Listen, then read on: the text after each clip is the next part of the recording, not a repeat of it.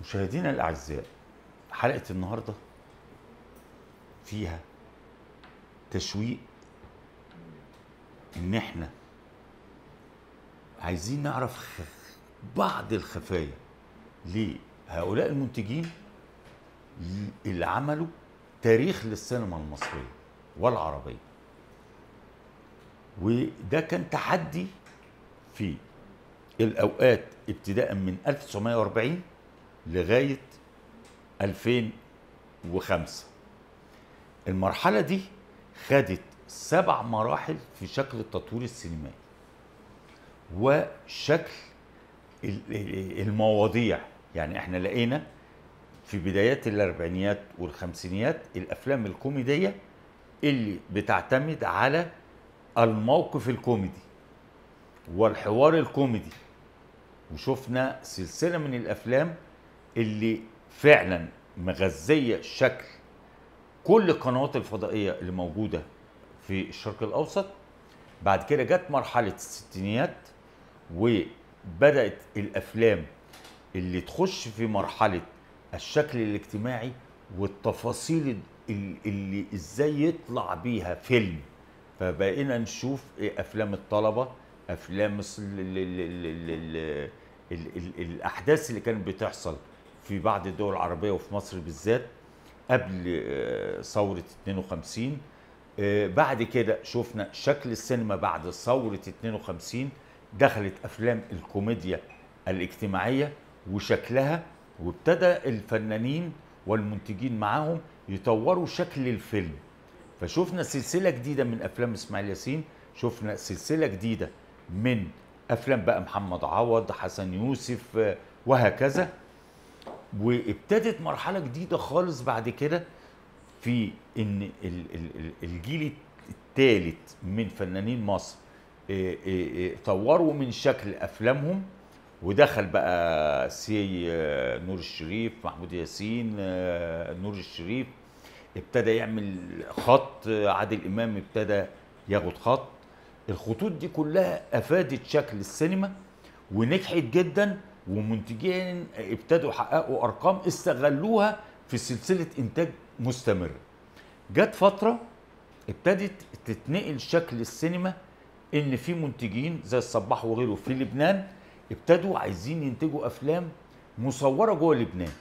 فخدوا معظم الفنانين المصريين من فريد شوقي طبعا فنانينهم بقى إذا كانت صباح آه، فريد الأطرش آه، المطربين العمالقة في الفترة دي. وابتدوا يعملوا أفلام آه، لبنانية بروح مصر لأن الشكل المواضيع كلها كانت لبنانية بس بروح مصري وشبه مواضيع بسيطة أو خطوط من مصر. بطولة فريد شوقي بطولة هدى سلطان بطو- بطولة آه، آه، هناخد بقى ميرفت أمين محمود ياسين وهكذا. بعد كده في مرحلة السبعينيات بدينا نخش مرحلة جديدة خالص من شكل الأفلام. وهي أفلام بقى إذا كانت بتطلع لنا شكل الطلبة في الجامعات شكل العمال أفلام بتعتمد أساسا على الحركة التجارية لحركة الفيلم. ودي كانت مهزوزة شوية في التسويق. مع بداية الثمانينيات ابتدت شكل الفنانين يفكروا. طب إحنا عايزين نطلع من العباية دي. طب نخش في أفلام شكلها إزاي؟ قال لك طب نخلي شغلنا يعتمد على الشكل الكوميدي عشان نبتدي نعمل إيرادات. طبعا الناس فرحت بال- بالتطور ده. وشفنا بقى آه، أفلام لفريد شوقي آه، كوميدية. شفنا أفلام لفريد الأطرش. شفنا أفلام لعبد الحليم حافظ. شفنا أفلام يعني دخلنا مرحلة آه، نور بقى الشريف عادل إمام محمود ياسين. بقى في آه، يعني شكل بقى الثنائي شكل الترواه آه، يعني ابتدت شكل السينما تتغير خالص. جينا بقى في مرحلة التس- التسعينيات ابتدى منتجين من الممثلين بقى زي المرحلة اللي كانت فيها أنور وجدي ومحمد فوزي وهكذا. وشادية اللي أنتجوا مجموعة من الأفلام اللي فعلا أسست شكل السينما المصرية. ابتدوا ينتجوا هم بقى. دخل محمود ياسين مع شهيرة ابتدوا ينتجوا شوية أفلام بطبيعة معينة بمواضيع معينة. ابتدى نور وبوسي ينتجوا برضو مجموعة من الأفلام. ابتدت ال- ال- ال- الحدوتة دي في الثنائيات دي يعملوا أفلام قريبة من المواضيع الاجتماعية اللي الشعب عايش فيه والمنتجين ابتدوا يتشجعوا وابتدوا يخشوا ينتجوا ابتداء من التسعينيات ثم 2000 ودخلنا مرحلة بعد كده الجيل اللي موجود حاليا من الممثلين بتوعنا إن يبتدوا يخشوا يشتغلوا ويبتدوا يستثمروا فلوسهم مع منتجين ويعملوا أفلام آه، ب ب ب يعني شكلها فيها شوية تكنولوجيا فيها تقدم. طيب عايزين النهارده نشوف مين اللي بدأ بلعبة أفلام التكنولوجيا وأفلام الخيال العلمي. ابتدت دي في مرحلة مرحلة التسعينيات. ابتدت الفكر في إنه يتعمل فيلم لمحمد عوض ويسافر أمريكا. ابتدى فيلم حسن يوسف مع مجموعة معاه يسافروا أستراليا ويصوروا فيلم هناك. ابتدى يعني ابتدوا عملية الخروج من مصر لحتت الناس بتبص لها وابتدت الأفلام دي تنجح.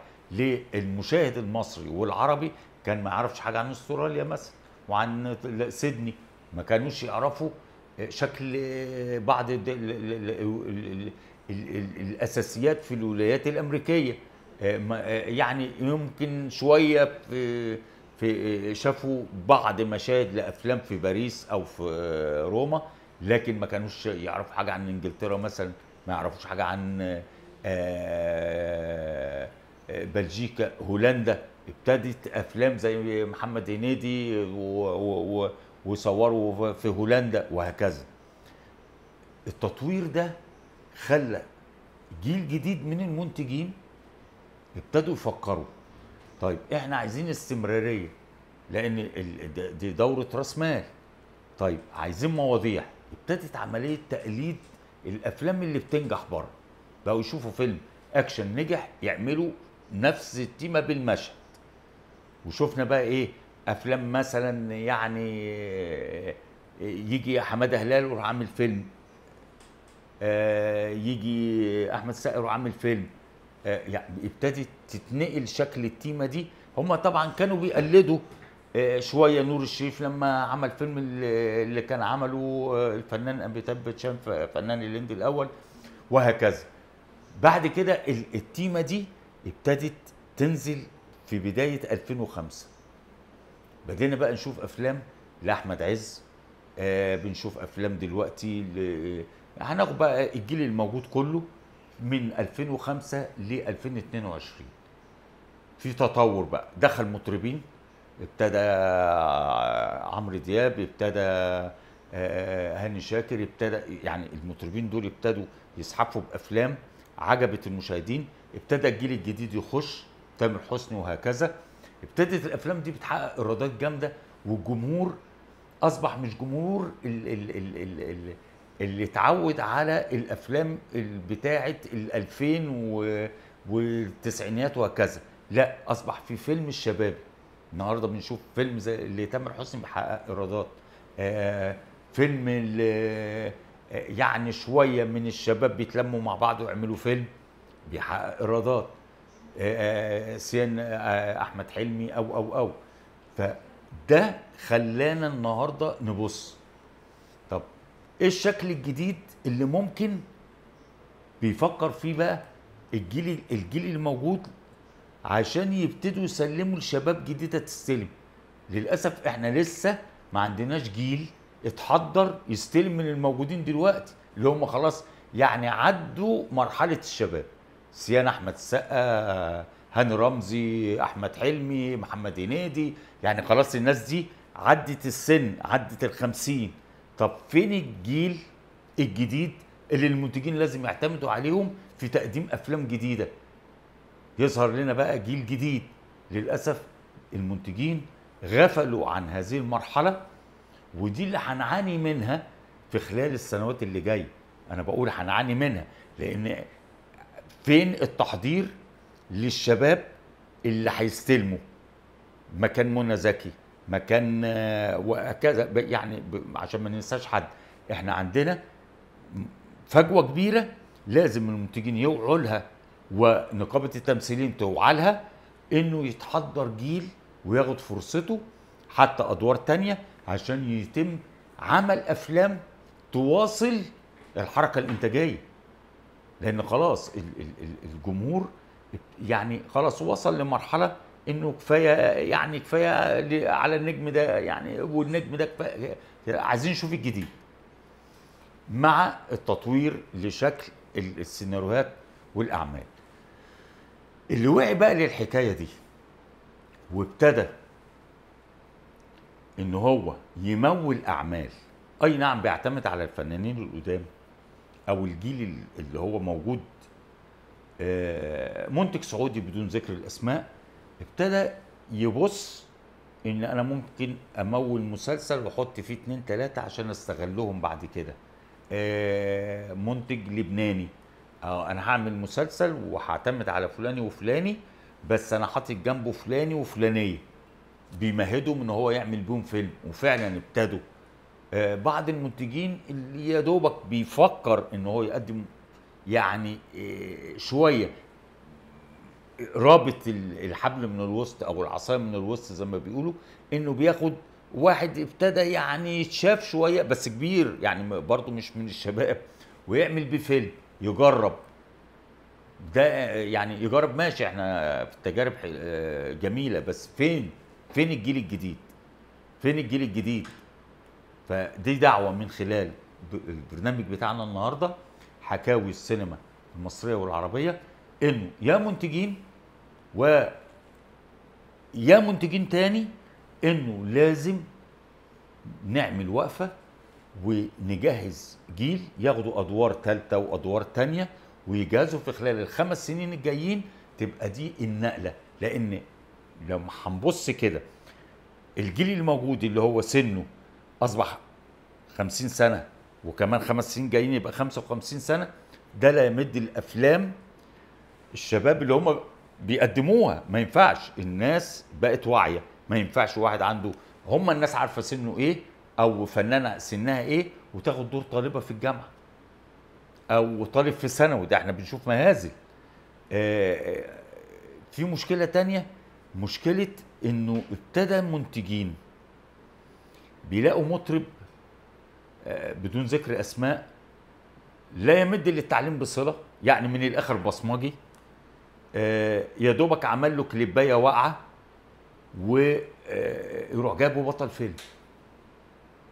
ويسنده برقاصه جاية من بره مصر ويقول لك أنا عامل فيلم. ده مش مستقبل السينما في مصر. لازم نبقى واعيين للحتة دي كويس قوي. وعلى فكرة بيعرض الفيلم بيفشل و... و... وشكرا. وبيقعد يشتكي. طب ما نأسس.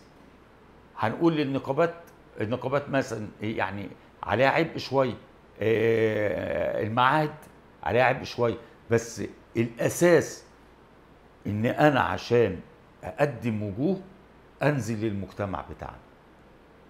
إحنا تاريخ السينما المصرية اتعمل اتعمل من ناس اتاخدوا من جوه المجتمع. من ال- نجيب الريحاني لعلي القصار لشكوكو لاسماعيل ياسين. دول اللي كانوا خريجين معهد آه، تحية كاريوكا هند رستم آه، آه، يعني هنقول العمالقة بقى كلهم. محمود المليجي فريد شوقي. تاريخ اللي عملوا تاريخ السينما المصرية. معظمهم لا يمدوا للتعليم وسعاد حسني ونادية لطفي وهكذا. الناس دي لا دخلت معاهد لا ده منتجين اقتنعوا بيهم وعملوا بيهم هذا التاريخ. فنأمل إن شاء الله إنه يبقى في حركة فكر جديدة من المنتجين بتوعنا والنقابات والمعاهد الفنية سواء في مصر أو في الدول العربية يدوا فرص حقيقية لانطلاقة جيل جديد وفكر جديد عشان نواصل الفكر ال- الزاحف علينا من أمريكا ومن دول أوروبا حتى دول اليابان وإن شاء الله نتقابل في حلقة جديدة من حكاوي السينما المصرية والعربية. ومع تحياتي وتحيات أسرة البرنامج والدكتور نبيل شاكر. شكراً.